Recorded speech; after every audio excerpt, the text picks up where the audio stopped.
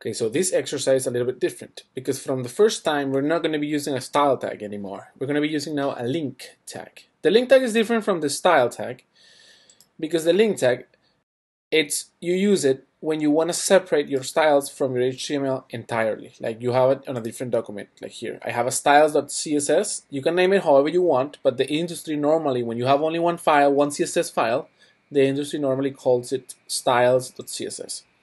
So what you gotta do is that you gotta put this link tag, and then you put the path to your style from the index.html. So in this in this particular exercise, we are standing here on the index.html and we want to refer to the style. Since it's in the same path, it will be an relative a relative link to this file. So it's within the same folder structure. So you, you just put dot slash.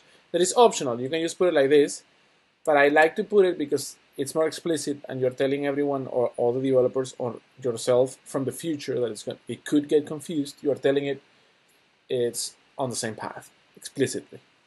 So after knowing that, it's telling us that we gotta fill the CSS with the content needed to make the website body blue. So it's the same thing that we did before. We're gonna say body background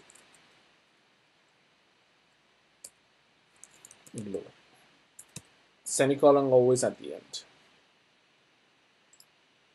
Let's try it now. And there it is, it's blue. You can see if I turn it into another color, like pink, and I run it, you'll see that it's pink now. You see?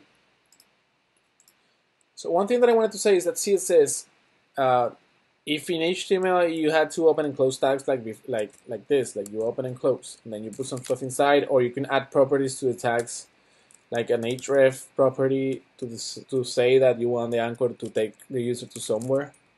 Well, in in CSS you also have to open and close, but you open and close uh, brackets or curly brackets. And you gotta do it the same way. You gotta open and close and then continue with your life. You don't open and then fill it in and then close because then you will forget to close. And that's 90% of your errors. That and the semicolon at the end of each line. You had to put semicolons. People hate that a lot.